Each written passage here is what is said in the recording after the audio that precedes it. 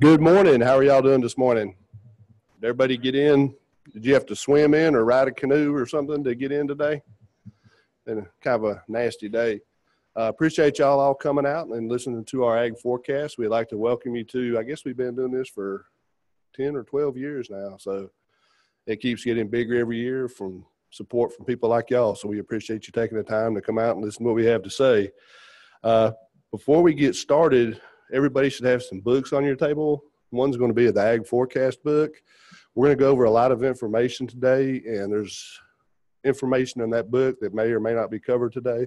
So make sure you take a look at that. If you do have some questions, we'll have a question and answer period here. But uh, also, too, the authors in there, their contact information is in that book. So if you need additional information, have additional questions, please feel free to contact them.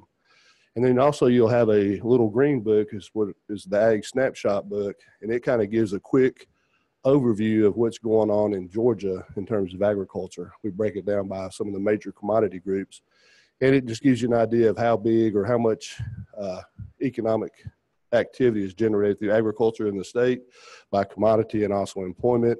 And then if you look in the back, you can find the different counties listed and see how much uh, economic contribution ag provides to each of the counties. And it's kind of neat if you look at Fulton and Gwinnett and some of the more urban counties, there's actually a lot of ag and related businesses in there. And I think a lot of time people don't realize that. So we'd like to welcome y'all here today. And I think we're going to have uh, Amanda Tetro come up and give us the welcome from, from the Clarke County Extension Service.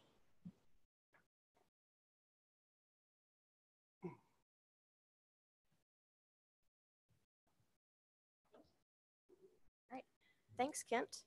Um, I do want to welcome everyone to Athens um, on this rainy morning.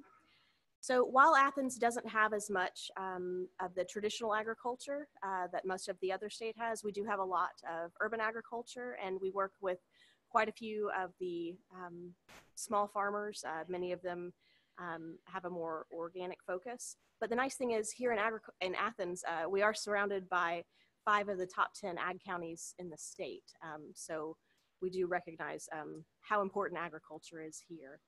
I did want to let you know that this Saturday, um, UGA Extension, uh, many of our departments, um, as well as Extension in Clarke, Oconee, and Madison counties, we are partnering with the Athens Land Trust. We have a sustainable ag conference. Um, there's information on the conference out at the registration tables if anyone is interested in this, and you can register at the door. Uh, but the Sustainable Ag Conference is going to be held in Oconee County at the Oconee County Civic Center. And the conference will be covering topics um, such as farm business planning, food safety, uh, farm equipment, marketing planning, um, and quite a few other topics. Uh, so we're looking forward to it. And there's going to be representation at that conference from FSA, NRCS, um, and some other organizations. So thank you.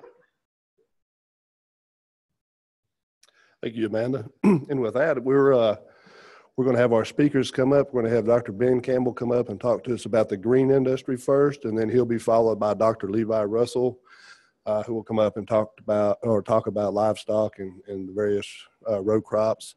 And then we'll have Matt Hauer come up and talk to us uh, about changing demographics in Georgia and nationally. So, with that, I'd like to have Dr. Campbell come up and kick us off.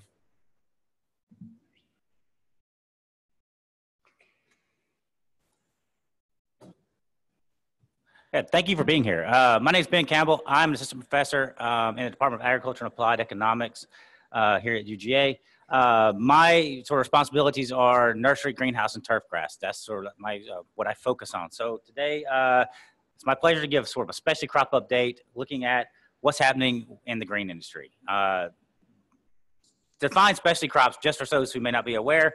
Specialty crops are defined basically fruits, vegetables, uh, ornamental plants, uh, Christmas trees, anything generally not row crops, not livestock, is in the specialty crop category. What's very interesting about this uh, sector is that, unlike a lot of different commodities, there's a lot of latitude on what we classify as specialty crops. So, you know, unlike row crops and other things, the specialty crop sector is very much a wide open with respect to how we what we put in those categories.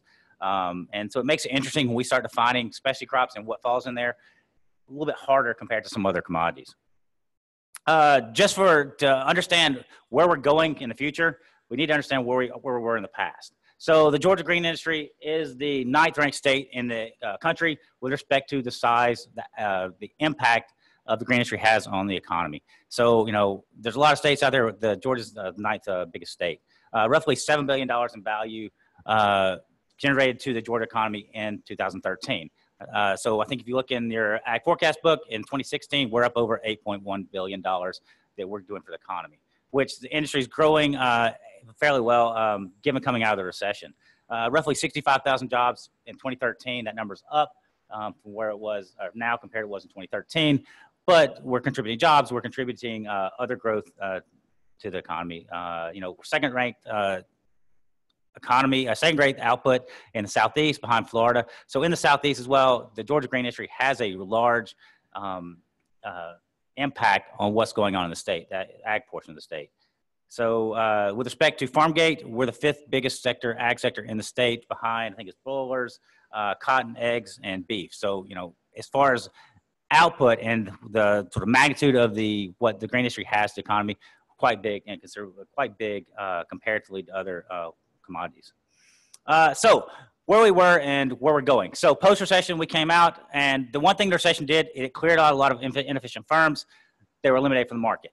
So we had roughly a third of firms in the nursery greenhouse industry that went out of business coming out of the recession. So not only that, we had a shrinking of production. I think roughly a 30% decrease in production uh, for the nursery greenhouse as we came out. Same thing happened with respect to turf grass.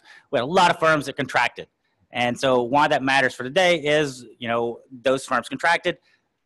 Well, are they putting things back into production? And so we'll talk about that in a little bit. But this contraction that occurred is really impacting where we're going in the future with respect to prices and respect to production as we move forward. The one big thing that we see coming out of the recession is that compared to the US, Georgia was hit really hard. We had a lot more firms go out of business and we had a lot more contraction compared to what the U.S. overall had. So we had this. Georgia was hit really hard with the recession and drought um, in the mid 2000s compared to the U.S. Uh, if you look, there's a graph on the top left, shows you sort of what happened coming out of the recession and where we're going. Uh, we see that you know production took a bottomed out uh, coming out of the recession. It is increasing, so we see do see increasing uh, ha- increases happening. Um, it's not that big sort of big shift back up. I mean, the economy's getting better, so everything shifts up. That's not what we see. We see that you see slow growth in production, but we see stagnant prices. Prices are really not rising. Um, so in the last couple years, and even going in 2018, we're going to see prices roughly remain the same. Production's where a lot of the new supply is coming from with respect to where we're seeing the added value. Um, if you're interested in more detailed with respect to what happened in the recession and the effects of it on the industry, detailed by sector, there is an extension publication out there that details the green industry, environmental horticulture, what happened, and where we're uh, sort of how the recession impacted Georgia green industry um, from the greenhouse side, the turf grass side, and all the different uh, subsectors within the industry. Uh, coming out of the recession, we had a lot of firms that left the market. A lot of those firms that left the market were in more rural areas. The uh, major cities, such as Atlanta and those areas, weren't impacted as bad, right? Because they had a bigger population base, so thereby they were able to survive. The figure you're seeing on the screen now shows where these firms are located. What you really notice is these firms are really congregated around large metropolitan areas with big populations. The red being the big red uh, blob in the middle is Atlanta, right? So there's a high density of firms that are located in Atlanta. Um, down in the South Georgia, you see that the red there is toward, toward the Tall, uh, Tallahassee market, right? So the firms now, as they're going back, they're sort of not really coming back in the rural areas as much. They're really, you see growth coming back in these large areas, which is increasing competition with respect to as more firms come in. Now, how do you differentiate yourself compared to your other competitors? So the growth is really happening in these really metropolitan areas is where we see growth at the retail level. Uh, so one of the issues we really have with respect to compared to other commodities is trying to do a forecast. We don't have data, right? If we want row crop data or we want row crop forecast, we want livestock, USDA collects hourly, daily, monthly data. For the green industry, we don't have that, right? So we had a yearly uh, forecast or yearly data that the USDA stopped collecting in 2007 um, that was doing floriculture and ornamental horticulture. That's gone. Uh, other things, uh, the census, that's not every year. So trying to construct a forecast of exactly what's going to happen prices for next year or uh, cost next year, really, we don't have that information.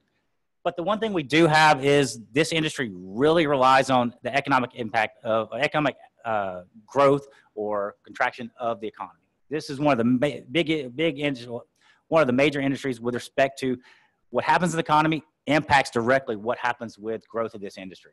So we can use uh, weather data and to because weather is big for the industry, and we can use economic growth and projections there to try to understand where this industry is going. So next couple slides are going to be looking at economic growth of the U.S. and Georgia to try to get a handle on what's happening next. So in, there was a survey several years ago, and the biggest concerns that you see that the greenhouse uh, nursery side, the economy was the biggest concern, right? Because realizing that what happens on this economic side impacts. Think of home sales, right? You put in a new home, you're building a new home. What do you do? You buy plants to landscape. You buy grass. You buy all those things. So if home sales go up and as the economy improves, more disposable income, thereby we now see, you know, I mean, the industry grow if those things are positive. So U.S. GDP. Uh, when you look at this, I mean, the problem here is that there's a range. The good thing is all projections point to there's going to be continued economic growth in the U.S. next this coming year, 2018.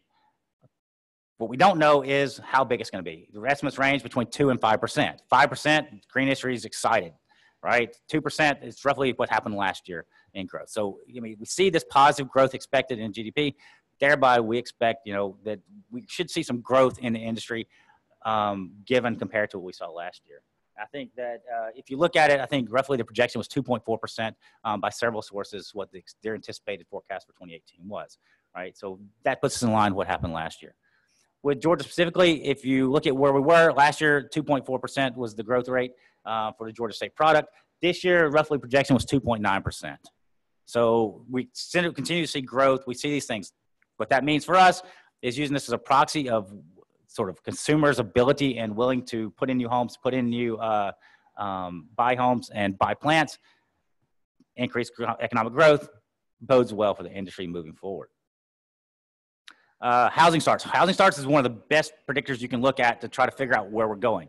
Um, housing starts projected to go up. Um, what we did see was in the fall of 2017, we saw actually sort of a decrease um, compared to the uh, 2016 fall of um, housing starts, or the last quarter of 2016. We saw a fall in housing starts, but we're still, the expectation is that we will have more houses um, permitted to be built and being built coming into 2018. That's good news, right? Housing starts, buy more plants, buy more turf grass. Good news for the industry. So, you know, housing start, GDP expected to increase, housing starts expected to go up. Two big good indicators that, I mean, we should see positive growth going forward in 2018 and beyond. Uh, Georgia, Georgia housing starts, same, same story as the US. We see positive growth, right? So Georgia specifically, we see this increase in uh, number of houses that are planned to be built. Good news um, for the sector. Uh, unemployment claims, another. And again, these are different uh, indicators we can use to try to get a handle on what's happening with the economy, right? That's what we're trying to do. Where are we going?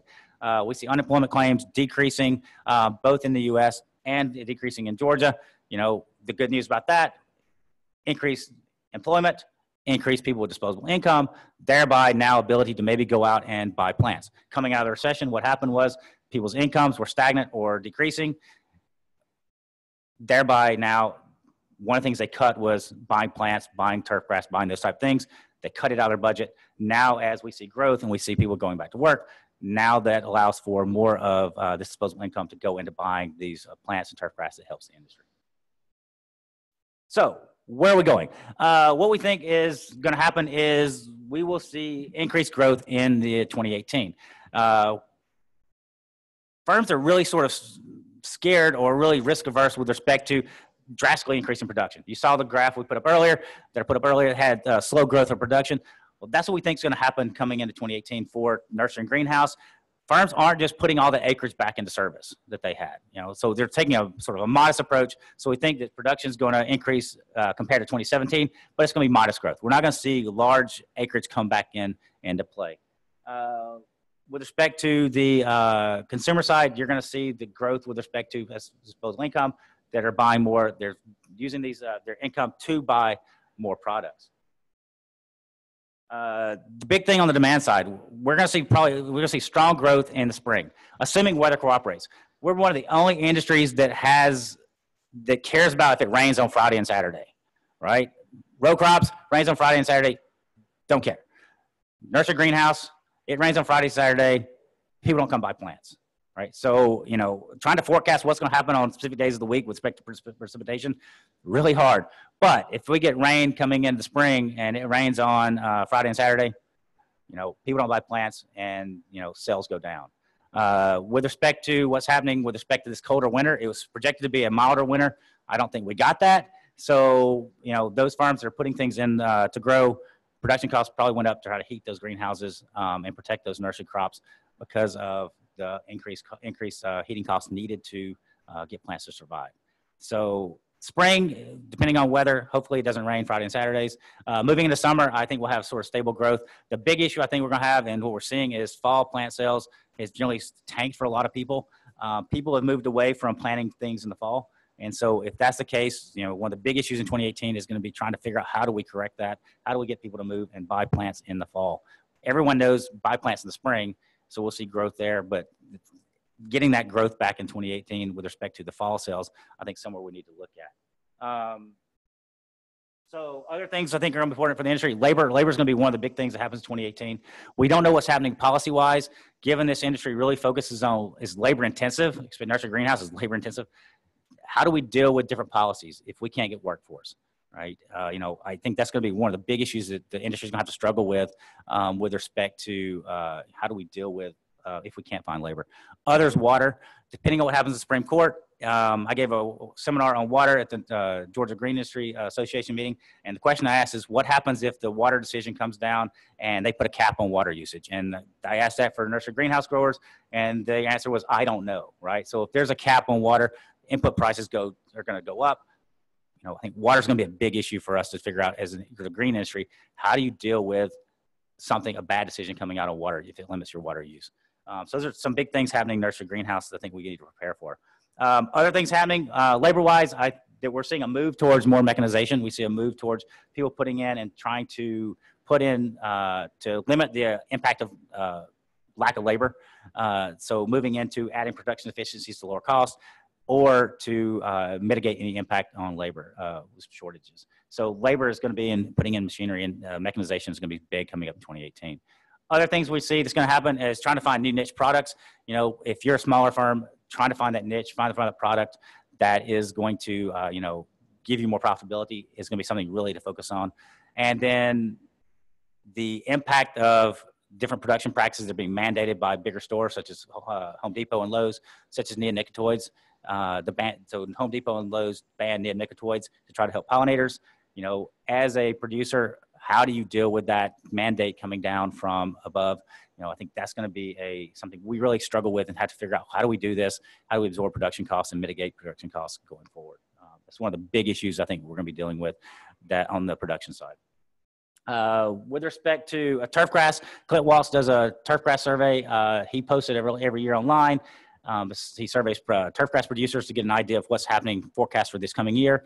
Um, if you're doing anything with turf grass or want to know about it, uh, I was just this uh, publication he does gives a really good, insightful uh, view of the turf grass industry and sort of what's happening in 2018. Uh, so what we see is some of the biggest areas is still going to be um, landscape landscape services, landscape construction is going to still be the biggest area. Uh, we see movement along with golf courses and those type things as people have more disposable income. Guess what we do? We will go play golf, right? So as the, as the economy improves, we're going to see people moving and doing these activities. Thereby, we think golf courses is going to be one of the big areas where turf grass is going to be moving towards. Um, so, uh, but still, landscape services continue to be putting in for new homes, right? So new homes being built, more grass being put in. Uh, production wise, the big thing to see from these two graphs is that compared to several years ago, it looks like we're sort of have a good handle on how much production we're going to need for various turf grass varieties, such as Bermuda grass and Zoysia grass. Now we have an idea of we sort of know where consumers are going to be, and so supply wise, we're getting more confident we're estimating it right. So you're not seeing large increases in uh, of uh, production areas. You see farms now sort of they have an idea where they want to be and to meet supply needs. And so since 2015, a thousand acres have been added. Um, so not not a lot uh, being added. Sounds like a lot, but it's not a lot compared to total acreage. But we see this growth um, coming, but it's very, very slow. Farms are somewhat happy where they're at production wise. They're happy with prices, and we don't see this sudden increase, and um, we don't expect a sudden increase in turf grass production to occur next year, this coming year. Uh, prices generally, generally really stagnant as well. I say stagnant; they're higher than what they were uh, several years ago, but we don't see a 2018 increase in turf grass prices. Generally, people are happy with their production levels. They're happy with their um, uh, pricing levels. So we're not going to see uh, turf grass prices uh, fluctuate up and down much. The expectation is they're going to remain, really where they were in 2017. Uh, cost wise, roughly same story. Cost, we're not seeing a huge increase or decrease for the most part. We do see, if you look at the chart, you'll see that there are some varieties where you have big fluctuation, like one of them's a 12% decrease. Uh, but by and large, everything's roughly 2017 levels. So for turf grass, you know, production's pretty much in one that sort of range. Prices are in the range where they were in 2017, and costs are going to be in the, that same area. So we're not seeing huge drastic uh, changes from 2017 to 2018. Uh, the expectation industry goes as the economy goes. Um, turf grass maybe more so than the green, uh, the nursery greenhouse. Uh, we see that uh, landscape services is going to be the big sector again. No change there from 2017. So uh, we see the production. I mean, is going to be. We're not. The big thing here is we're not seeing farms really put in massive amounts of production on nursery greenhouse or turf grass. We're slowly building back to where we were in uh, 27, 2007, 2008. So there's a modest growth going on there. Um, other factors, again, water and labor are still going to be big issues. I mean, if they come back and say, hey, you can only water so much, you know, you know, are we developing new varieties that can deal with that? I think that's going to be the vital shift to try to deal with drought tolerance and things like that. Uh, labor as well. You know, if we come back and we can't harvest, um, you know, maybe turf grass is a little bit different than nursery greenhouse, but labor and water are going to be the two big issues that are going to impact us in 2018, depending on what happens with policy in Washington and the Supreme Court decision coming down in uh, about the uh, water wars. But if they cap Georgia water usage, ag's going to be one of the biggest hit industries. And how does the nursery, nursery greenhouse, how to turf, how do they deal with that? I think that's the big things in 2018 from a trends perspective or cost perspective. What are we going to have to be dealing with? Um, that being said, that is a quick overview of where we're going nursery greenhouse wise and turf wise, um, the green industry in 2018. All right, we're going to see some growth, prices really not rising that much, really driven by demand being driven by the economy with respect to how we're moving. And I don't know if we have a good handle on what's going to happen in 2018 with respect to where's the economy going. If you look at leading up to the last couple days, we'd say, oh, we're going to be boom. After the couple last couple days in stock market, you know, is it going to be as big a growth? Right? I think that's where we don't know. And forecast is we will move forward um, at least be 20, 2017 levels, if not demand moving a little bit higher. So that's Nursery Greenhouse. Um, so if you have questions, please see me after. I'll be happy to discuss anything with you. Thanks.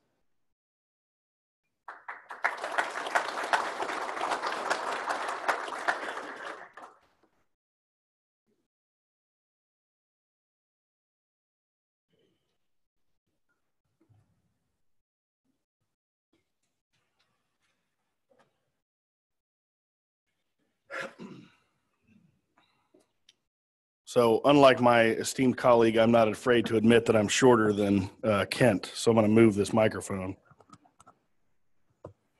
There we go. That's a little better. So my name is Levi Russell. I'm a, a professor in the Ag and Applied Economics Department. Uh, my my primary uh, area of specialization is what I like to call uh, everything that has feet that you eat. Um, and so I'm mainly in the livestock world, but um, today I'm going to be talking about uh, just about everything um, outside of the uh, nursery and greenhouse stuff here. And so I'm going to start off talking about uh, the livestock, uh, excuse me, the, the cattle side. Um, and, uh, you know, the, the, the interesting thing about cattle um, right now, I think, is that we're kind of uh, in this phase of, of rebuilding our herd from a pretty dramatic um, decline nationwide. And um, Georgia's herd is still down quite a bit, uh, even though sort of nationwide our numbers have been uh, growing. And uh, we just recently got a report out that's uh, that indicated that uh, you know we had some growth uh, in the herd over the last year, but um, the we we really did slow down um, our how many replacements we're holding back um, on the replacement heifers we're holding back, and so I think we're going to see slower growth this year um, and potentially uh, level that off, which will uh, sort of mean, you know, uh, positive pressure for prices, especially the cow calf level. You know, Georgia uh, is primarily a cow calf uh, state, and so we have a lot of mama cows out there, um, you know, uh, raising calves and and for the most part selling those calves into the Midwest where they are where they graze for a period of time and then go into a feedlot. Um, so usually, so here, uh, what I'm normally talking about is is calves that are weaned um, in the state and, and what the prices are for those calves. That's typically what I'm focusing on. Uh, but you can see here a graph of uh, cattle slaughter. Uh, slaughter rates have been increasing over the last uh, few years, and if you break this down into, uh, you know, mama cows and heifers, um, those groups have been increasing as well. A lot of my graphs will look like this. You'll have a, a red line that's a five-year average, a dotted line that's the previous year, and then the blue line is the current uh, current year's numbers. And some of these will be updated for 18, and some of them won't. But this one's updated for 2018. Uh, but you can see there that you know cattle, the pace of cattle slaughter uh, every week um, that has picked up relative to that five-year average. And this year um, we're doing pretty well um, in terms of um, you know increasing our pace of slaughter. We've we've got a bigger herd now than we did a few years ago, and so we kind of have a healthy market, I think, where you know those calves are sort of efficiently moving through um, our feedlot system. You know, our feedlots have done a really good job of, uh, you know, putting calves on feed and then marketing them at a, uh, at, a at the appropriate time. I think that you know, in addition to that, uh, the consumer has really helped us out as well, in the sense that um, know our retail prices have been uh, relatively strong. Uh, you can see them kind of falling off a little bit relative to uh, 2016 there uh, last year, but um, you know the the real bright spot and the real kind of hard to predict thing for us uh, on the econ side has been you know just what will the consumer do? Um, you know we saw back in 14 and 15 you know extremely high beef prices uh, when you know our supply was really low. Um, and so it has been interesting to see sort of a shift in the consumer perception i think um, and sort of having a, a little uh, a little healthier attitude, I think, about you know beef and, and all of these meat products really as a as a healthy product. Uh, you know, protein, focusing on protein, and you know not worrying so much about you know some of these older claims that you know dietary fat is really bad for your heart and all this sort of thing. Um, I think you know as we update the science on that. Um, I think it's been really good as the consumer has figured out that you know these products are really healthy. Um, so you know retail prices, you know, over the next year, uh, really are going to kind of run into a problem where, you know, we're going to be eating more beef here in the U.S. We're going to be exporting, uh, you know, a, a, little bit more. Um, but you know, the question is going to be, um, you know, as we continue to increase our production of beef, uh, you know, how how much pressure is that going to put on prices? And we've really seen a shift where, you know, beef prices are a lot more dependent on uh, folks' incomes than they are on you know how much beef is out there, how much pork and how much poultry are out there, sort of as those competing products. Um, so you know again as as the economy continues to I think uh, sort of move along pretty well, uh, I think that bodes well uh, for cattle producers in general. I'd like to show this slide because I think it does a good job of showing you know profitability and and uh, kind of what we expect for you know herd development over time. And so you can see those really high profit years in 14 and 15, consistent with those really high prices that we had. Now, at the time, I was in Texas, an economist in Texas, uh, especially the west, uh, well, on the uh, kind of the western and southern part. And, uh, you know, I wasn't saying high profit year because, you know, the western U.S. is where a lot of that drought was coming in and why we were getting lower herd, uh, lower herd numbers. And so they weren't, they didn't have a lot of profitability because they just didn't have calves. Okay. And so, um, you know, it was a different story for some of them, I think. But um, you can see we had a negative profit year there um, in 2016. Again, consistent with prices falling pretty dramatically, but inputs kind of staying high. Um, and then uh, last year, uh, positive profitability. And again, this this uh, this whole thing is is uh, really this this negative profit year in 16 and you know lower profit year in 17 has helped to kind of slow down our expansion of the herd. Uh, you know, when there's positive profitability, we tend to see growth of the herd. When there's negative profitability, we tend to see the herd decline. Um, and so over the next couple of years here, you can see those forecasts for kind of you know, sort of even money or, you know, maybe a little bit of positive profitability, a little bit of negative. And again, this is nationwide. Um, you know, I think, again, we're going to see sort of our, our herd kind of flatten out a little bit here um, over time. And so what does that mean for Georgia prices? Well, um, you know, you can see here uh, that five-year average uh, being relatively high uh, as it's capturing, you know, those really high prices in 14 and 15. Um, but you can see last year, you know, we had a couple of big drops there in the spring and then in the late, uh, late summer and into the fall. Um, and, and really that drop in the fall is, is you know, s- sort of normal, except that it was just really, a really large drop. Normally we see a drop during that period, but uh, it really just fell really far. Um, we did see recovery, thanks again, I think, to the demand side. We, we saw box beef prices go up at the end of the year, wholesale beef prices, in other words. And I think that really helped pull up calf prices. Um, and so, you know, this this past year, we've kind of had, you know, what I would think would be a normal year, consistent with the prices that we had at the end of 16.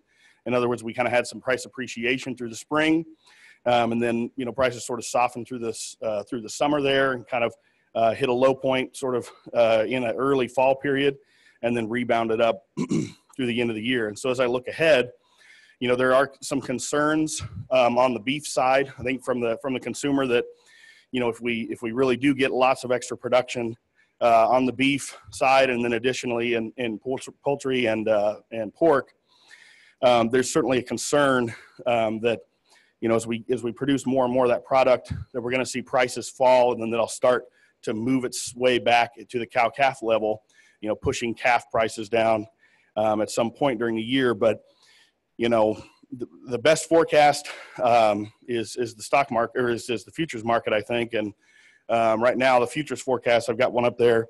I, I this was calculated last week, but um, beefbasis.com is a fantastic website uh, put together by some extension folks in the Midwest, um, where you can actually forecast uh, cash beef prices or cash, uh, excuse me, calf prices in your uh, at your barn's location.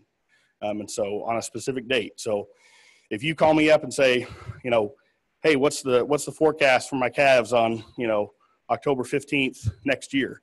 Well, all I'm going to do is go to beefbasis.com and plug that in. Okay, so you can save yourself a trip and just go ahead and do that. But uh, it's a really great website. Um, you know, so like I say, I think we're going to see seasonal pattern of prices next year, consistent with where we've been. You know, um, but we we do have some downside risk uh, in terms of um, looking at the consumer side of things.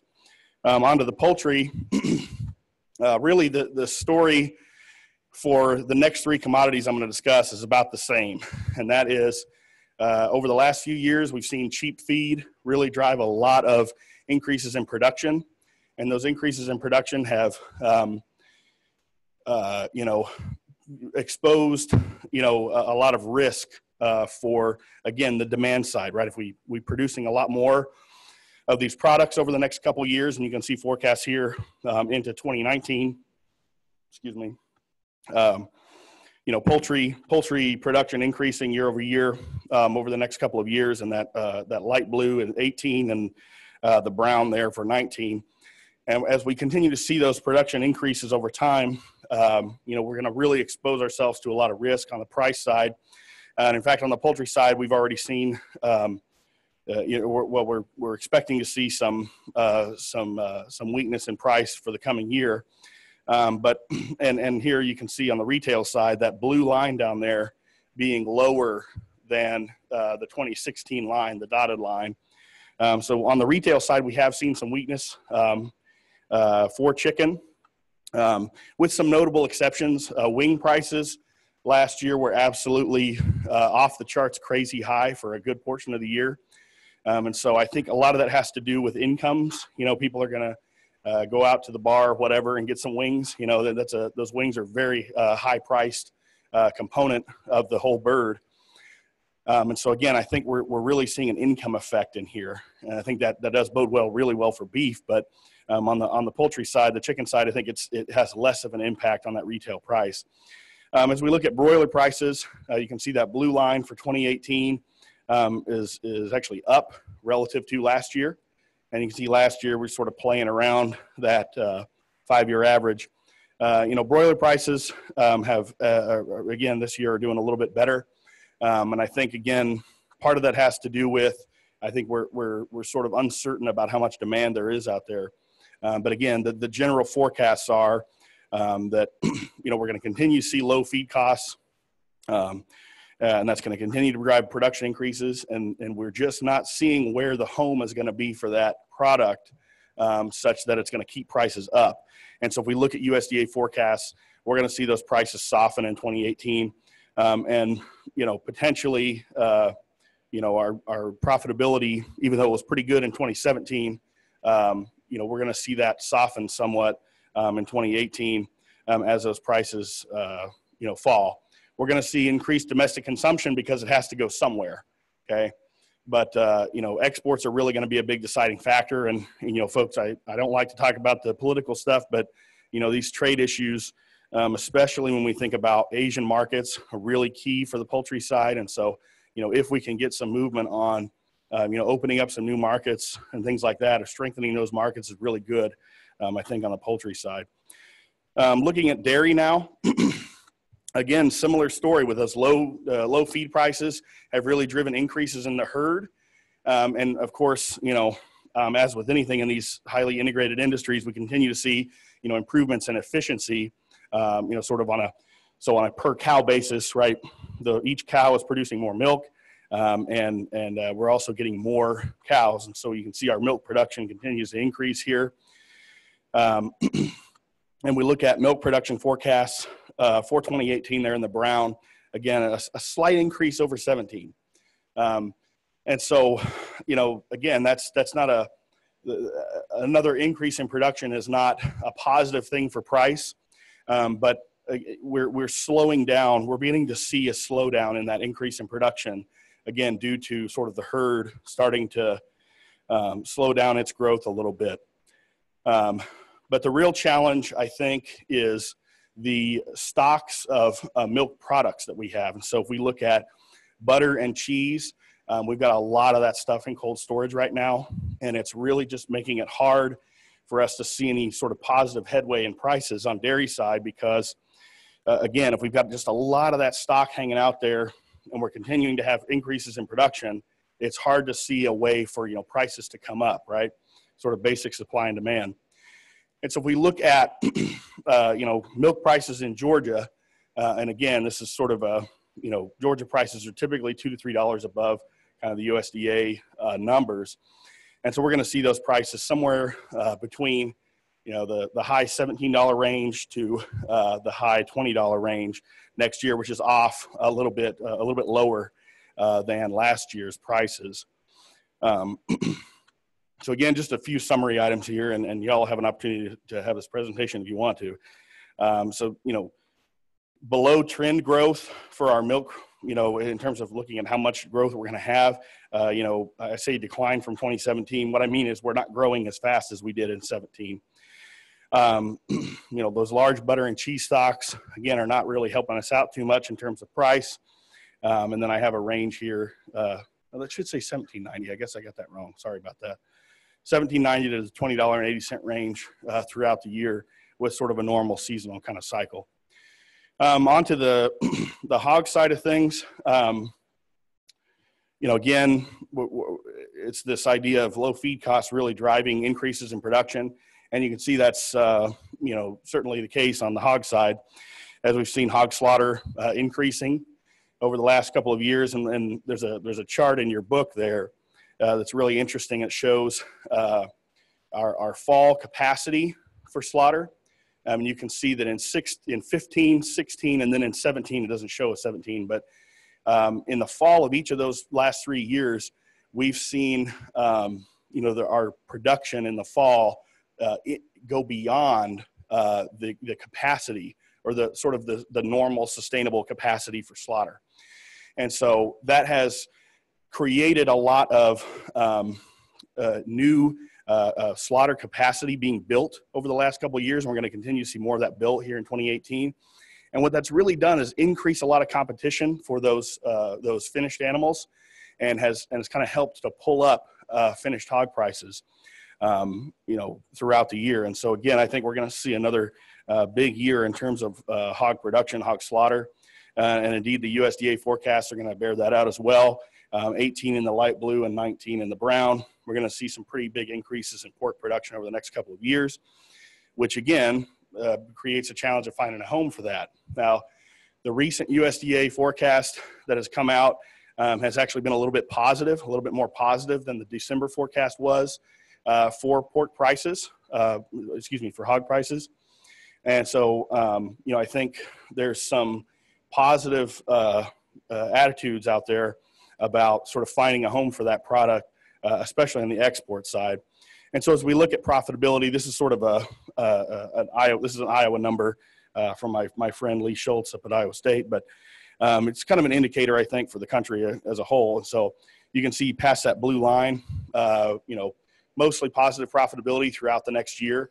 Um, but in 19 is where we're we're expecting to see uh, you know, some some real softening of those uh, uh, hog prices, which uh, even which even though we are expecting again those low feed costs um, are going to start to drive sort of unhedged profitability uh, lower uh, in 19. so if we again just to sort of recap here. Uh, above, cap- above capacity slaughter in 16, uh, those continued low feed costs are really um, helping to drive production increases. Um, domestic consumption is going to increase, but uh, we're still going to see some uh, ending stocks that are higher. So, um, as far as keeping a floor under those finished animal prices, you know, we, have seen a lot more competition uh, from from the slaughter folks, but uh, 2019 is going to be a tough year, I think. Um, now, I'm going to be honest with you. I'm, I'm not a pollinator expert, and there's a great article in that book for you to read on this. But I'm just going to read you some highlights uh, here. And so, you know, honeybee popularity in terms of, you know, folks wanting to use, uh, to, to, to um, you know, have honeybees on their property um, still rising, but overall production in Georgia has been below average, uh, which is kind of consistent with the last few years. Um, our nectar flows are down. And so when we think about, you know, colony failure, we've heard a lot about colony collapse disorder and things like this. Um, you know, we, have had uh, you know, favorable temperatures and good weather allowing the bees to forage. Um, but but we have seen uh, increase in brood production. Um, you know, that's allowed uh, varroa populations uh, to increase, which is uh, not a good thing for those bees. Um, in terms of pollination services, um, starting in January of this year, we started to see those. Um, uh, you know, bees going from Georgia out west to, to kind of do their job with those trees. And uh, contract fees for pollinating almonds uh, will be higher this year. So apparently the almond folks are doing well, and so they're going to uh, sort of pay it pay it forward a little bit um, into the bees. And so with that, uh, talking about pollinators, I'll move on to uh, discussing our row crop stuff here. Um, in terms of cotton, of course, you know Georgia is the number two cotton state in the country, behind Texas, and it's a very important crop for the state. in terms of uh, acreage, we're likely to see increases in uh, acreage, um, but production, you know, that, that's always, uh, of course, dependent on the weather and things like that. The uh, farm bill is going to be a, a, a, certainly an important uh, part of all of this. Um, if we're going to see uh, some kind of a program to put um, um, put in place for cotton, whether that's going to be a seed cotton program, um, which is coming from one side of the, the, the Congress or a cotton seed program. So it's, it's sort of a, strange naming, and we can talk about that later if you'd like um, at lunchtime. But um, you know, remains to be seen if we'll if we'll if we'll see cotton go back into uh, the program into the farm bill as a program crop. Um, world cotton use has improved, so that's good in terms of having a, a an export market for the U.S. So export markets uh, share has increased for the U.S and uh, overall use is up, and so that's a good thing. You know, we, we like more demand for that product. Um, the big the big question is going to be China um, use and their their need for exports. So they have sort of a gap between their production and how much they're using, and so uh, you know in terms of filling that gap is is potentially a, a, an opportunity. On the other hand, here. Uh, you know, one of the big things that we economists like to look at in terms of trying to forecast prices is our ending stocks to use. And so if we're if we're increasing these stocks over time, in other words, we have you know so much we have uh, production that exceeds uh, our use for that year, right? We're going to have more cotton being stored, right? And the more we have co- more cotton we have being stored, the tougher it's going to be, right, for prices to come up, right? So it's sort of a negative relationship. We get higher ending stocks, we have lower prices, and so. Uh, for the next couple of years uh, in the past here, we've seen uh, again uh, increases in supply um, that that really haven't, uh, and, and the demand side hasn't caught up, hasn't been keeping up with that. so we've seen those ending stocks increase over the last couple of years. Um, so the market's been increasing, uh, has been anticipating an acreage increase. Um, and we're likely to see one, but um, you know, there's there's other factors out there in terms of um, exports and things like that for for markets to sort of uh, pay attention to. Um, we we could see um, you know prices weaken if we get a really big acreage number, um, or if you know our production uh, you know really the, the bottom line is going to be production. If that production sort of uh, beats expectations, and that's where we could see some negative uh, for the price. Um, we need, uh, you know, it's important for our, uh, you know, demand for, for exports. I think uh, it's something on the order of 70%, 70 to 75% of U.S. cotton is exported. Um, and so those export markets are, are very important in terms of maintaining those prices. but looking at the futures market and trying to sort of predict where we're going to be um, at harvest time, you know, we're, we're probably going to be somewhere in the 70 to 78 cent range, which, you know, the bottom end of that is probably uh, below sort of a break even profitability number.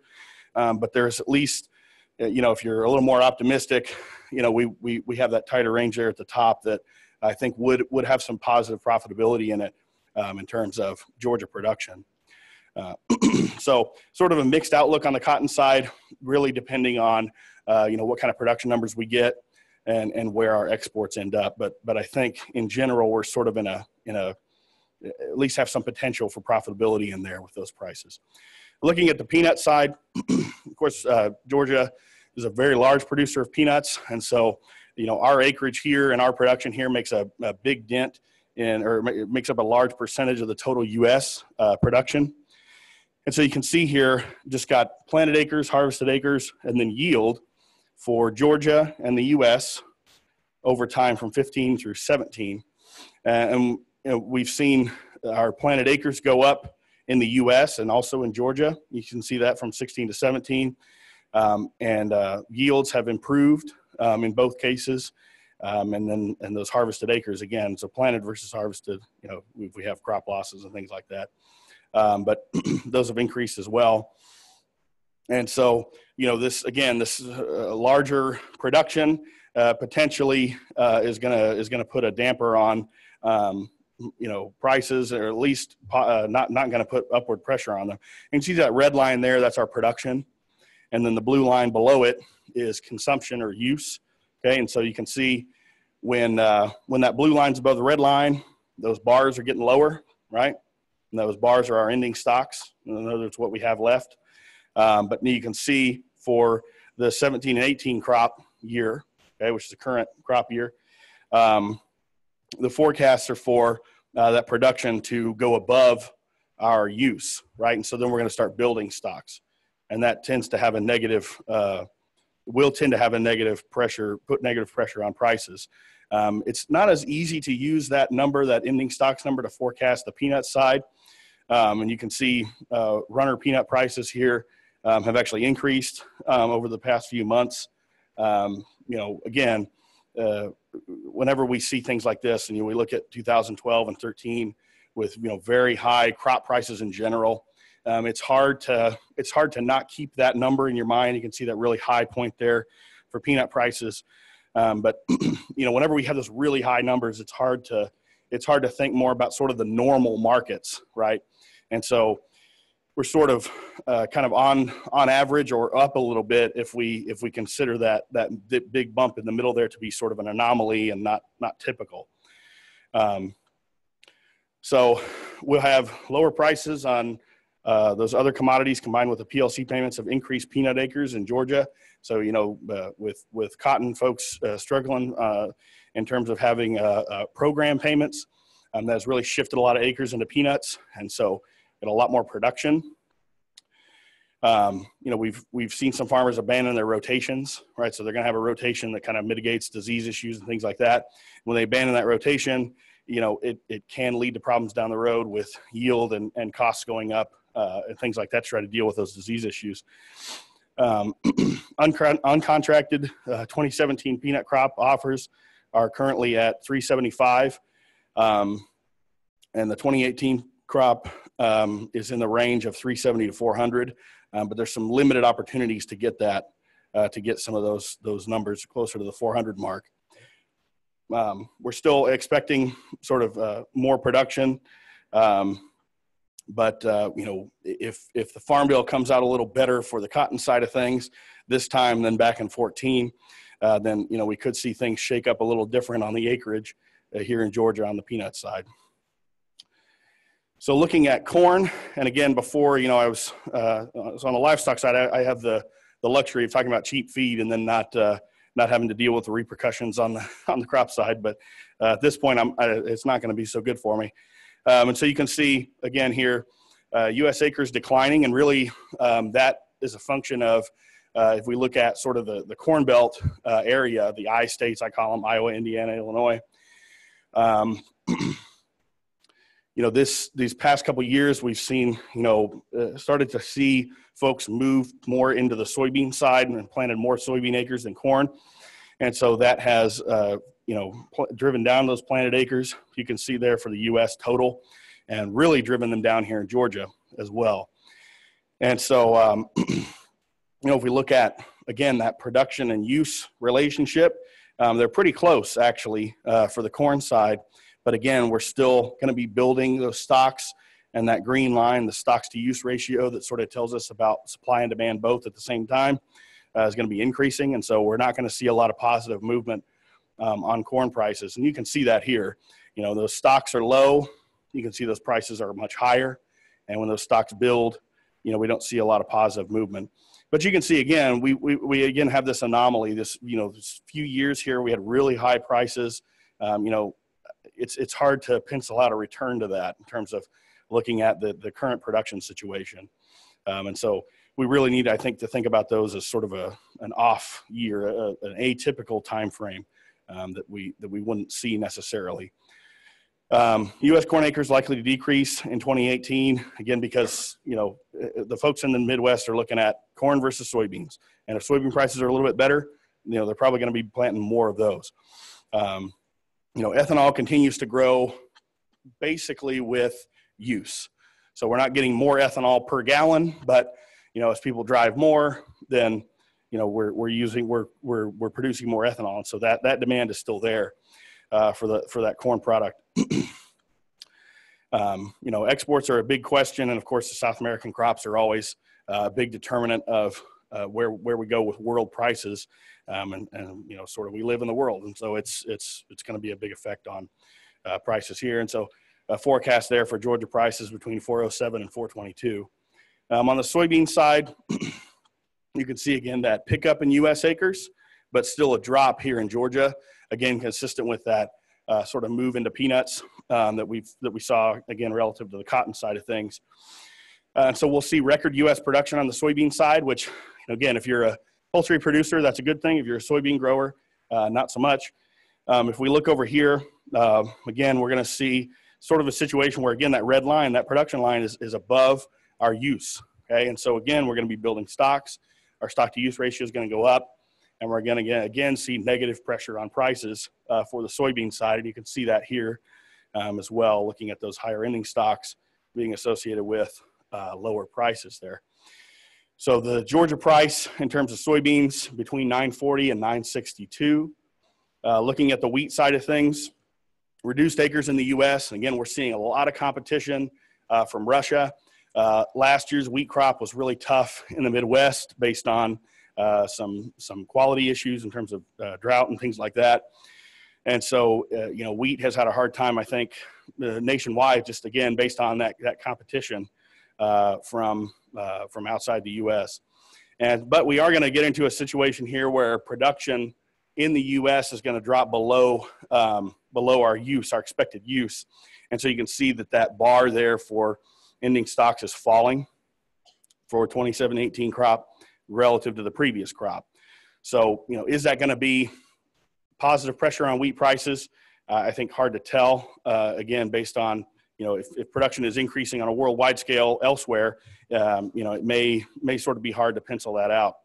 Um, so we'll see, uh, kind of again maintaining that low wheat price in in Georgia here uh, between four dollars and four twenty seven. Um, looking at inputs, so we like to kind of look ahead a little bit about sort of where our uh, seed, fertilizer, and things like that are going to be. Uh, seed prices are going to be up slightly, uh, fertilizer up slightly. Um, so we we've got our numbers there uh, that are that are in our uh, our budgets. Uh, nitrogen at 42, uh, 42 cents, um, and then P and K at 39 and 28 respectively. diesel fuel will likely be up in the 210 to 250 range, um, and chemical prices are mixed. So you know some up and some down uh, machinery, labor, and interest up slightly. And again, you know, if we've got a growing economy, uh, you know, if we're seeing oil prices recover out of a, a real low spot, you know, we're, we're going to see higher fertilizer prices. We're going to see those higher machinery, uh, you know, interest rates are going to be coming up. You know, the Fed has uh, increased rates, I think, three times last year. And so we're going to see some positive pressure on those as well. And I think it's all sort of consistent with a growing economy, increases in technology on the seed side. It's going to push up seed prices. Um, so I think we're going to continue to see that despite those low uh, those low crop prices. Um, the folks down in Tifton do a great job, I think, doing some uh, penciling out some numbers and looking at sort of relative profitability for these different crops. And so I'll just kind of you know point out a few things here. And so uh, in this in this purple circle, we've got uh, net return per acre above variable cost. Okay, so that's sort of above your cash cost, right? Uh, except we're excluding, you know, land rent, right? So if we're, we, if we own our acres, right, this is going to be returned over our cash cost here. And you can see uh, soybeans coming in uh, pretty high there, uh, along with cotton. And then kind of a step down from that on the corn and peanut side, and then grain sorghum being really low. Um, and then if we look, if we subtract out our land rent, which I believe they have at something like $200, um, yeah, $200 uh, you know, we're going to see sorghum go into the negative there. And this is for irrigated, by the way. Um, and again, maintaining those same relationships there. So again, uh, cotton and soybeans being uh, sort of at the top profitability wise, and then peanuts and corn being a step down. On the dry land side, uh, you know, a little bit of a different story with cotton being the the, the best out of the group, uh, and then peanuts and soy soybeans kind of being down a little bit uh, and then corn and sorghum being pretty even uh, in terms of looking at uh, profitability. And just, you know, a comment on this whole, uh, you know, we've been discussing a lot, I think, in, in the ag econ profession about financial stress and this sort of down period we're having in profitability, uh, especially on the row crop side.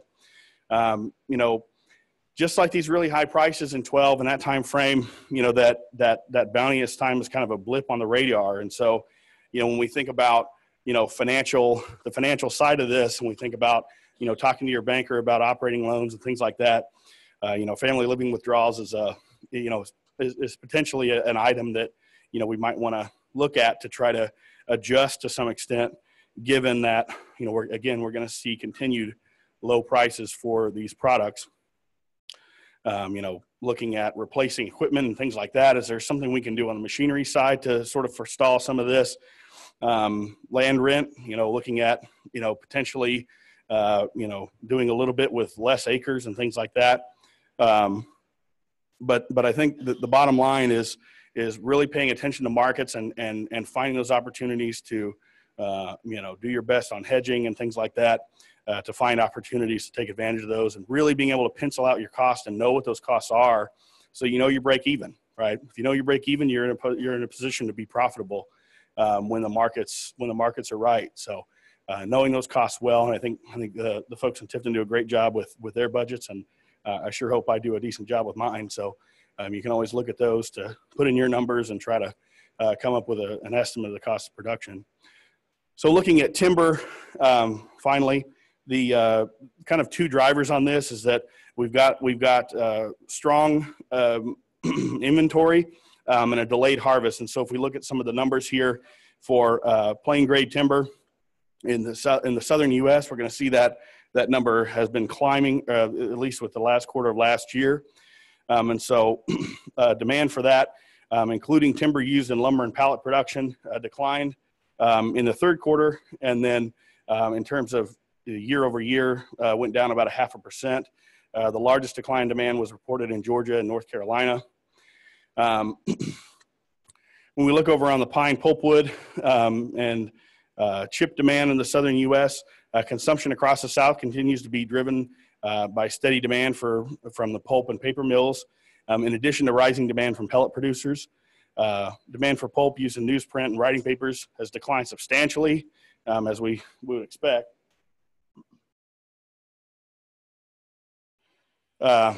Uh, fortunately, the decline in this market segment is being offset by increasing production of paperboard and paper products, uh, specifically fluff pulp. Um, as, as worldwide population and economies continue to grow, demand for pulp uh, consumer products, um, paper towels, napkins, and things like that, um, we're, we're going to see those, uh, uh, you know, especially strong. Um, OSB or oriented strand board uh, is another use of pulpwood, and demand for that is expected to rise um, as our, you know, as discussed previously, housing starts and things like this uh, move in a positive direction. Um, and so with that, uh, I'll uh, I'll uh, quit talking and, and allow our keynote speaker to come up, uh, or I, I think Kent's going to introduce our keynote speaker. So thank you for your time.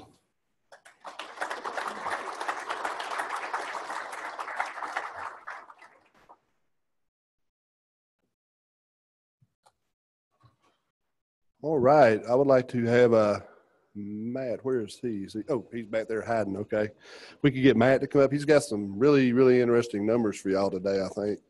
Uh, he spoke yesterday and a lot of people stayed afterwards and they were discussing some of the, the implications that may come out of the uh, data here that, that Matt's going to talk to us about. He's with the uh, Carl Vinson Institute, and I think you're the state demographer, right? Is that correct? I mean, not officially. Not officially, but unofficially he is, okay. I'm the only one. So, yeah. So I, I guess by virtue of being the only one, it makes me it, right? the only fish in the pond, if you will. So uh, my name is Matt Hauer. I'm applied demographer here at UGA.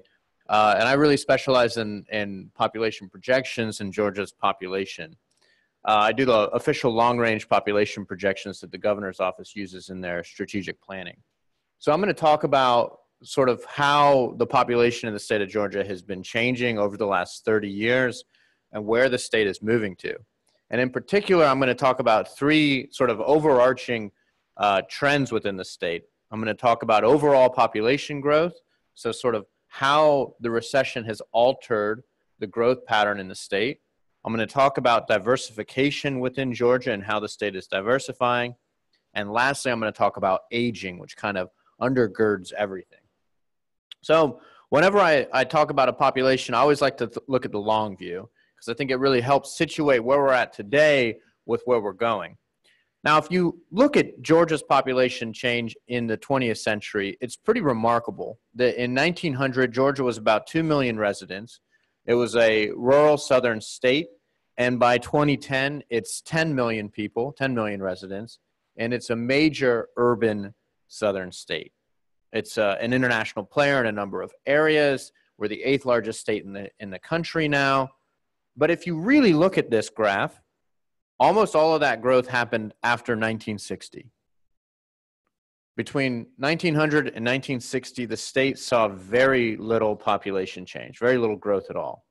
Now, if you think about any state, anywhere, there's only three possible ways, any population really, there's only three ways it can ever change. This is an ironclad law in demography. You can only add people to a population because they've been born, can only take people away from a population because they die, and in between birth and death, we have migration. People move around.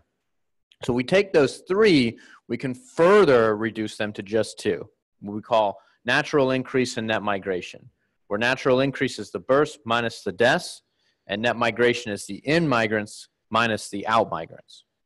Now, as you can see, up until about 1960 or so, Georgia had negative net migration. So more people were leaving the state of Georgia than moving in. We could think about the state as being a net exporter of people. This is what we call the Great Migration, as people left the rural South into the industrialized North and into California. Now, this changes in the 1960s, where we start to see increasing amounts of in migration. This coincides, of course, with the civil rights movement and also the widespread adoption of air conditioning, making the South a much more livable place. This tops out in the 1990s, where over a million more people moved into Georgia than left it. Over a million.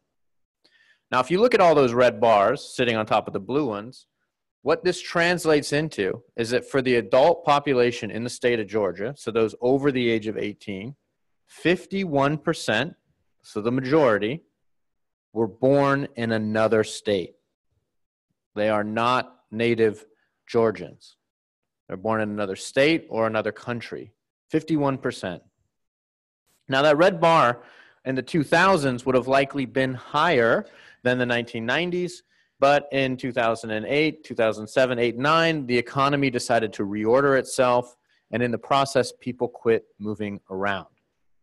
Now, what I'm going to do is I'm going to change those red bars from being a numerical amount to a ratio, essentially. So it's going to go from 0 to 100. And this is what it looks like since the 1970s. Now, if you look at the 1990s as an example, 70%, so seven out of every 10 residents that the state added was because they moved here, as opposed to being born here. Now, if you also look, you'll notice that 2010 to 2011 has a very small ratio of the growth due to migration. In fact, it's smaller than the 1970s. So we have to go back 40 and 50 years before we find a decade where the migration into the state of Georgia is at the level that we're currently at. Meaning that the 2010s are not like the 2000s or the 1990s or the 1980s or even the 1970s. They're more like the 60s or before. Now, the good thing is that this this bar chart, the 2010 to 2011, is creeping up. Now, if we if you pay attention to that last one, I'm going to change it from 2010 to 2011 to 2010 to 2012. So pay very close attention, and it just barely inches up. This is recovery migration into Georgia after the recession. This is now it's starting to pick back up uh, after the Great Recession. So if you keep watching that last bar, we'll go to 2013. It takes a step back, but then in 14 and in 15, it starts to increase again. It doesn't change the fact that we're still at historically low levels of in migration into the state.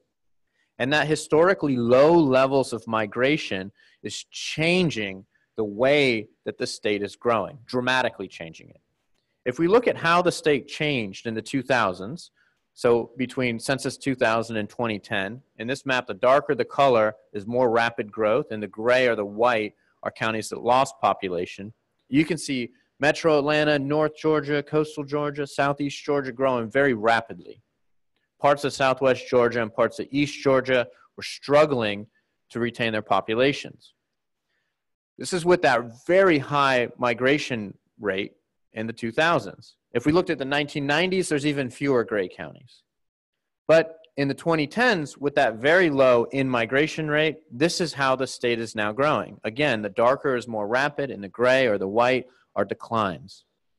Instead of isolated declines in Southwest and East Georgia, we essentially have statewide pattern of population declines in a lot of rural areas. And we're seeing new, new patterns emerge that we really haven't seen in at least 70 and 80 years. There's 36 counties that now have negative natural increase. So in those communities, there are more deaths than there are births. There's 78 counties that have lost population since 2010. So half of the counties in the state of Georgia are seeing some form of population decline. Now, oddly enough, this is actually relatively good news in 2018 than it was in 2013 because in 2013 we were looking at around 84 counties that had lost population between 2010 and 2013 So again, migration is starting to pick back up a little bit. And so some of these counties that were losing are now starting to gain again. This will not approach what we were like in the 2000s. In the 2000s, there were under 30 counties that saw population declines. We're going to be triple that number in the 2010s. Almost 100 counties have negative net migration, so they have more people moving out than moving in. And if you think about those communities that have negative natural increase and negative net migration, without a fundamental change, there's virtually no way for those communities to see some kind of growth. And just seven counties in total, seven, account for two thirds of the entire population growth in the state of Georgia. Six are metro Atlanta, and the seventh is Chatham County, which is in coastal Georgia. Now, four counties account for 50% of the state's overall growth. Those are Fulton, uh, Fulton, Cobb, Forsyth, and Gwinnett counties. So we're seeing this massive concentration of growth in Georgia in the major metropolitan areas, almost at the expense of the rural areas. Now, this pattern is really not unique to Georgia. This is pretty much happening all over the US. This is a map from the Census Bureau, which is why the color scheme is absolutely terrible. But this is a very easy map to grab. What I really want you to pay attention to are the purple and the red counties. The purple counties are those that lost in the um, after the recession and before the recession, and the red counties are those that lost before are the ones that have lost after the recession. Yes, I got that right. Now, if you notice, there's pretty much red and purple counties in every single state. Texas, what we, they love to call the Texas Miracle, it's got red and purple counties. California has got red and purple counties. Florida has red counties. Even North Dakota, with the shale boom, has purple and red counties. So this is basically happening all over the United States. And this pattern of rural population decline is new, relatively new, in Georgia. Did this happen in the 2000s? Did this happen in the 1990s? Well, if we look at 2010 to 2015, and we look at urban and rural Georgia, urban Georgia added over half a million residents in the last five years, whereas rural Georgia has seen a small decline in its population. And for some of these areas, there are very long-term trends toward population declines. There's 37 counties in the state of Georgia that had larger populations in census 1920 than they did in 2010. These are areas that basically never recovered from the depression.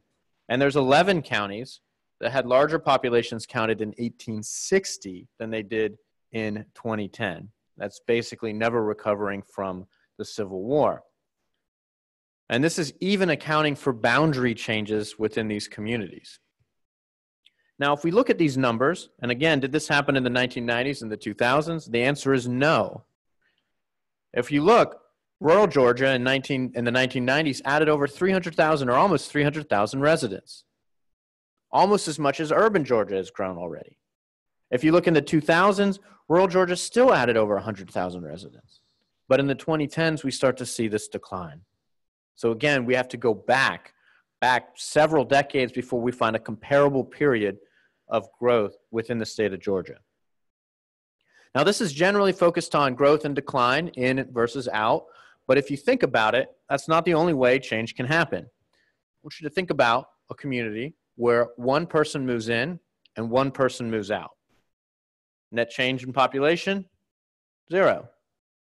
However, the person who moved out had an annual income of $60,000 a year, and the person who moved in had an income of 40.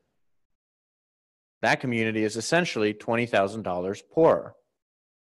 So if we take all those and we add them all up and we look at the net change in household income in rural Georgia just due to migration, this is the distribution that we get.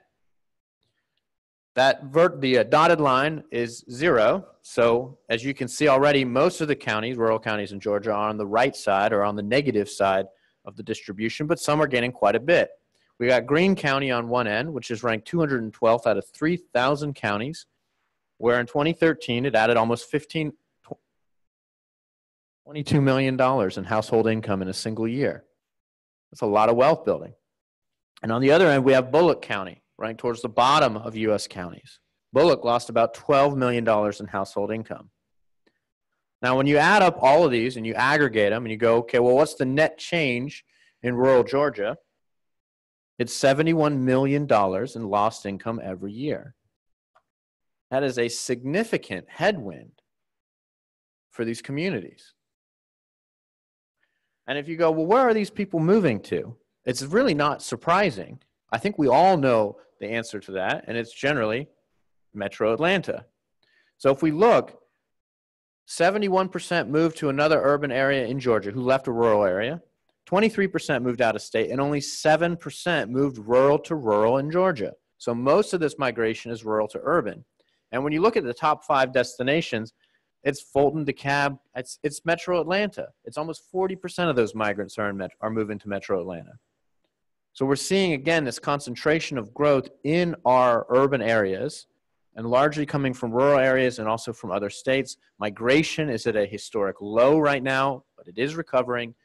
And the, the consequence of that low migration is a complete change in the way that the state is growing. Now, if we talk about diversity, the state is also diversifying, and it's diversifying fairly rapidly. In 1980, 98% of all Georgians were either black or white. Our Hispanic population was 1% of the state's total, and all other race groups combined made up less than 1% of the state's total. But between Census 1980 and 2010, the state underwent a very dramatic transformation. Instead of 98% of Georgians being black or white, it's 86%. Our black population that was a quarter is approaching a third. Our Hispanic population is almost 10% of the state's total. And this catch all, this nebulous other, we can actually talk about those groups individually. In Georgia, it's largely Asian and multiracial that make up that category.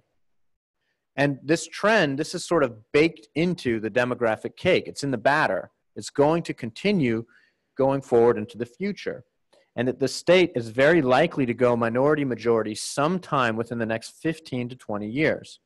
And for some areas in the state, they already are minority majority. And for some age groups in the state, they also are already minority majority. If you're a kindergartner in Georgia, you already live in a minority majority Georgia. Now, this doesn't mean that all race groups aren't growing, they are. It's just that we're seeing a larger amount of growth in our black, our Hispanic, our Asian, and multiracial populations. So if we look at this numerically between Census 2000 and 2010, we can see that our black population grew the most rapidly, followed by Hispanic, and then white, and then the nebulous other, the catch-all. But if we look at this in terms of percentage growth, it paints a very, very different picture. And you can think about this in terms of an annualized growth rate, and we sort of have the stock market on one end and the bond market on the other, although maybe not the stock market right now. And we can think about this in one other way, which would be doubling time, or how long it takes a population to double at these growth rates. This is what's happening. This is the, this is the diversification that's happening within the state. Now, this is the 2000s where migration rates were very high compared to what they are now. So all that's happened in the 2010s is that all of these numbers have just gotten smaller. Or in the case of the doubling times, they've all gotten larger.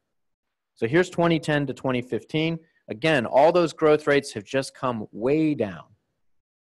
But we still see the same differences between our white, black, Hispanic population, or our, our black, Hispanic, other population, and our white population.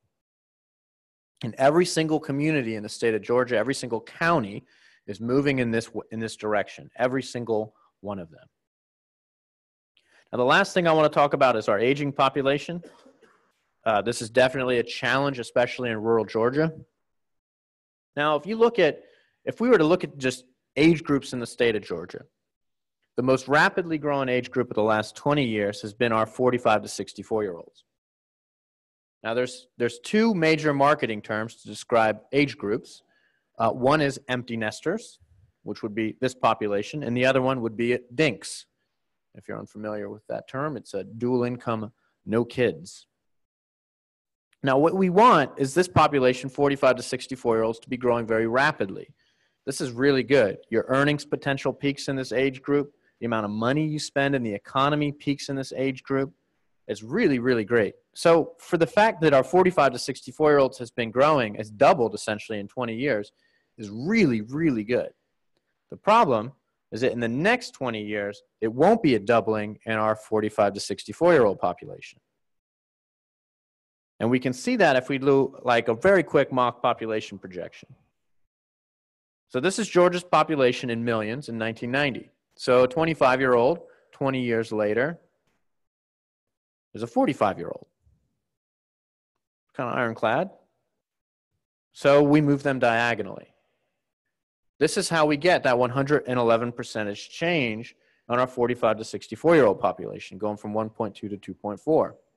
But that 45 year old now in 20 years is a 65 year old. So again, we'll move them diagonally. Now, 45 to 64 year old is going to grow very little. And instead, we're going to see quite a bit of growth in our 65 and older population. And numerically, that growth is going to be even larger. Instead of 1.2 to 2.4, it's 0.9 to 2.4. If we look at the age structure of Georgia, you can really see the effect of this. This is the baby boom. This is the age structure in Georgia. Instead of a population pyramid, it's just turned on its side. We've got youngest on the left, oldest on the right, and I bracketed off the boomers. And you can see it's like a mountain. And if we take this and we go forward to 2000, you can still see it. Again to 2010, and again, it's still kind of there. But what's happened is the tail end, the youngest ages have come up and it's flattened. Instead of being a mountain, it's more like a plateau.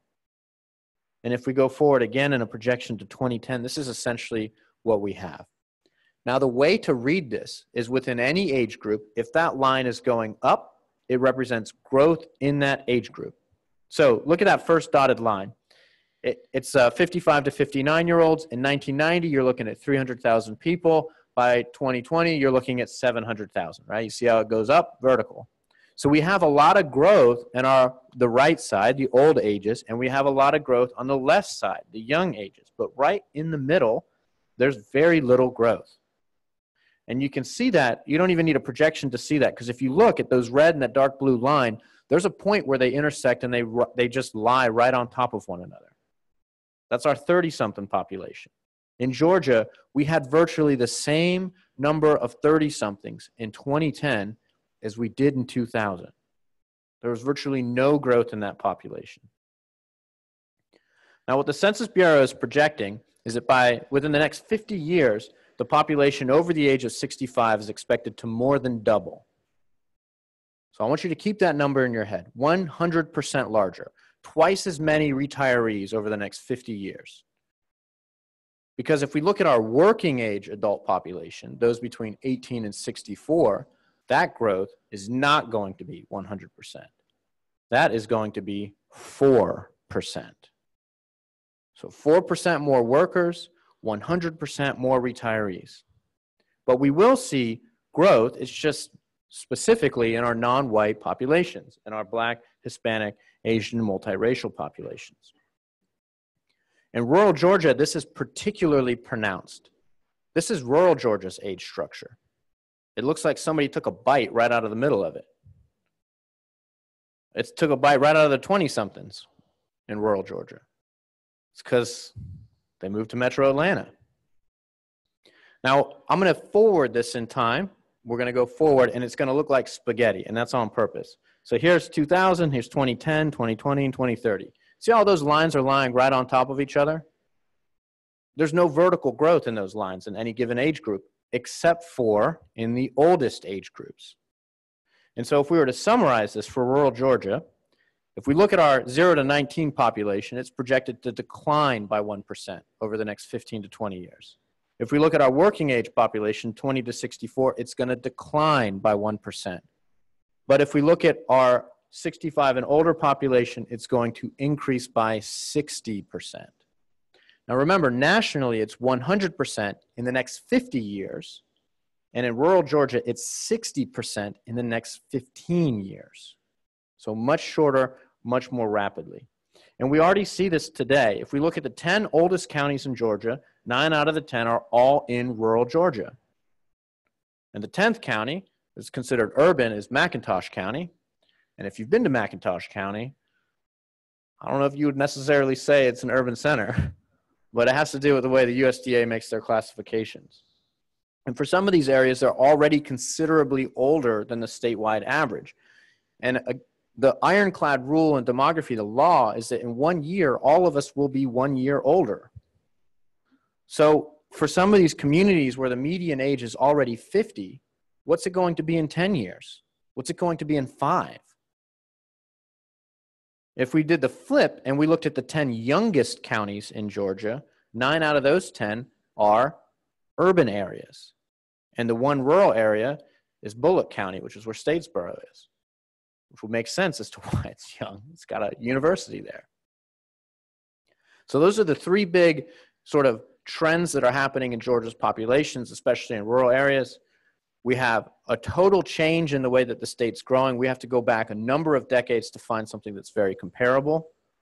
We have diversification that's happening within the state. It's sort of baked into the demographic structure. And we also have considerable amount of aging in our rural areas as well. Uh, at Vinson, we're social media savvy. So you can find us on Facebook, Twitter, and LinkedIn. And if you wanted to contact me to ask any kind of questions at all, feel free to do so. This is my contact info. I get out into the state pretty frequently, so it's almost always better to, to send an email as opposed to call. And I think if we have some time, I might be able to answer a small handful of questions. But bear in mind, the only thing standing between lunch is going to be these questions. yes, sir.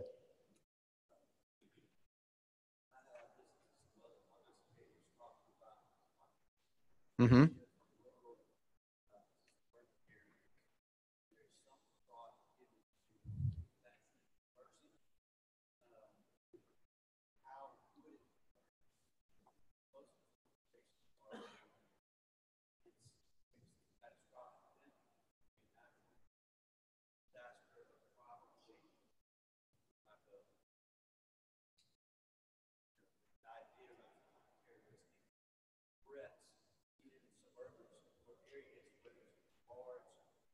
Mm-hmm.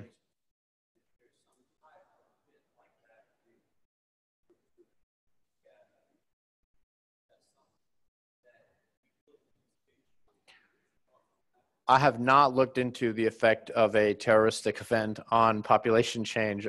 I can't really say either one way or another. Um, I, I, I haven't done any kind of work on that, or even episodic. So something that might be like a major hurricane or something even similar. Um, I haven't done any work on that, so I, I really can't comment on it.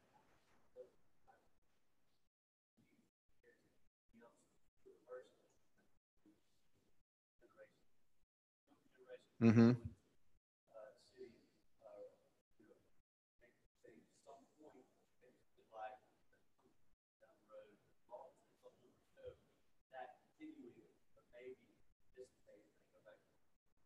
Yeah, I mean, I think it's definitely possible. Um, but some of these are really long-term patterns. I mean, urbanization in America has been happening since the 1870s. So in some cases, it's and it's it's international. I mean, this is happening all over the world as well. So we're looking at you know several hundred years worth of, or at least you know over a hundred years worth of population trends in America moving in this manner. At the same time, fertility rates are at very low levels. Um, so fertility fell 15% since 2008 it turns out that you know having have, starting a family in the middle of a recession is probably not a good idea. And it turns out people didn't do it nearly as, as much. So there's all these different patterns that are all happening at one time. Um, i mean i think that there's a lot of policy that can go into play that could really help rural areas especially bringing people into these areas. And there's a lot of thought that's going on both at the state level and nationally to work through some of those policies. So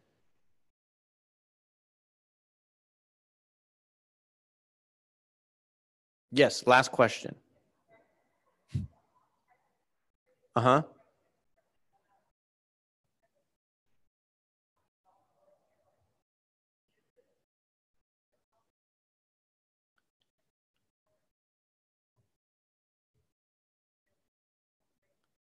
Yeah, so the question was about essentially housing prices.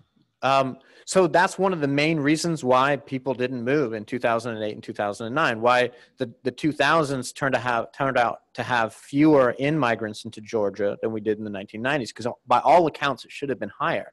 It's just that in 08 and 09, people couldn't move. They couldn't get out from underneath their mortgage, basically. And so it put a real, I mean, a, a hard stop on migration. Florida, which has had positive net migration since 1960, in, in 2009, the net migration into Florida was zero. I mean, it zeroed out in a single year. Now, it bounced back, but it didn't bounce back to the same level as it was prior. So, in terms of interstate migration, yeah, housing prices have played a pretty play a pretty significant role. It, but that kind of goes into cost of living and living in the South, and and really the Sun Belt. So it's not just you know you know it's not just Georgia, it's also Arizona as well and Texas.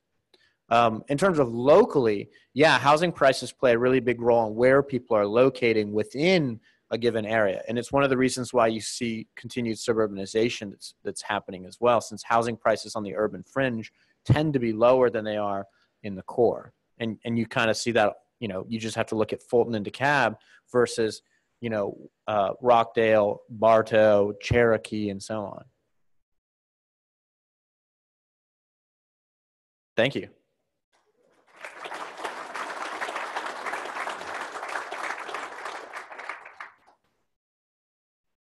Thanks, Matt. Uh, appreciate that. And we've got a number of folks online that are that are watching this. Uh, this is the first location we've done this year online, and I know one of them is a local elementary school, Colham Ferry, Colham Ferry Elementary School's online, so their kids are learning about agriculture uh, today as well too. With that, I think we're about ready to have lunch. I was wondering if we could get uh, Brent Marable to come up and do our invocation for us.